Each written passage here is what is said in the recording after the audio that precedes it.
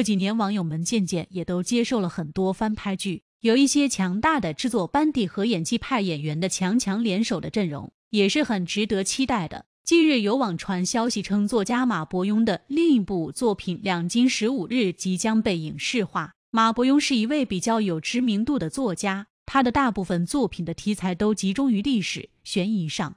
此前他的代表作《长安十二时辰》《风起陇西》《显微镜下的大明》等都被影视化了，而且这些作品的评分都非常高。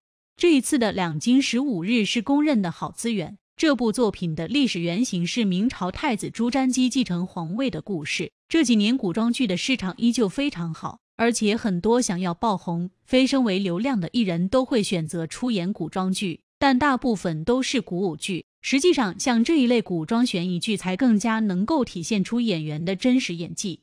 所以，这部剧对于很多想要转型的男人来说是一次很好的机会。但还有一个很重要的问题，从网传的消息中能够看出。这部剧的制作班底是比较强大的，所以他们可能不会轻易的去选择一些流量或者是演技争议比较大的演员。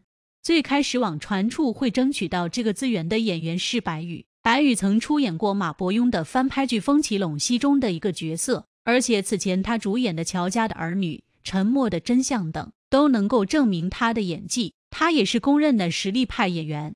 但最近有网友发现这部剧的编剧陆续关注了。两位男演员分别是程毅和谭健次，因此大家都在猜测，或许剧方想要这两位演员共同出演这部剧。从原著的剧情介绍中能够看出，这部剧中有两位比较关键的男性角色，程毅和谭健次都是有一定知名度的男演员，而且此前两位男艺人分别给大家呈现了《莲花楼》《长相思》两部优质的古装剧。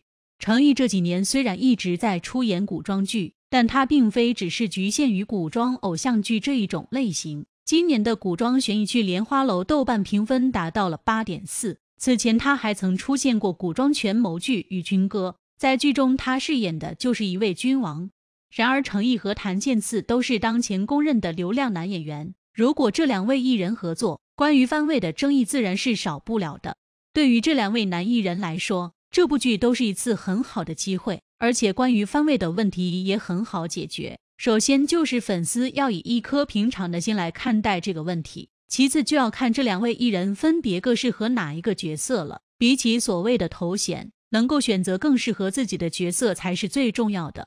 这几年程毅的发展越来越好，戏外的他又非常低调，而且很少参加综艺节目，所以一直都给大家保持了一种作为演员的神秘感。难怪杨紫说什么都要和欢瑞解约。看完成毅的遭遇就知道原因了。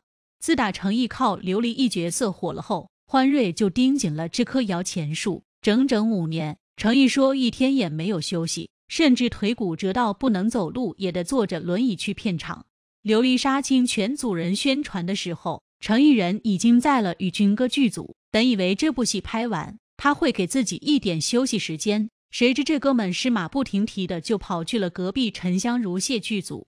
第二天就投入了应渊帝君的拍摄，可毕竟这是一部仙侠剧，拍摄过程中难免会有些磕磕碰碰。因为道具老师的失误，程毅甚至在没有什么安全措施的情况下从高空直接坠落。然而即便如此，欢瑞都曾未心疼过程毅，两个假期都不批准，让他直接拄拐坐轮椅也不能耽误拍摄。难怪程毅能落下如此重的腰伤。好不容易程毅靠自己能接一部外戏。饰演现代剧法官，谁知欢瑞竟然摔脸不开心了，那是连一句宣传都不帮忙说，眼瞅着程毅流量大，二话不说又将这哥们安排在了莲花楼，甚至还差点把女主安排成了李小冉。就这高强度的非人待遇，也难怪杨紫连夜跑不续约了。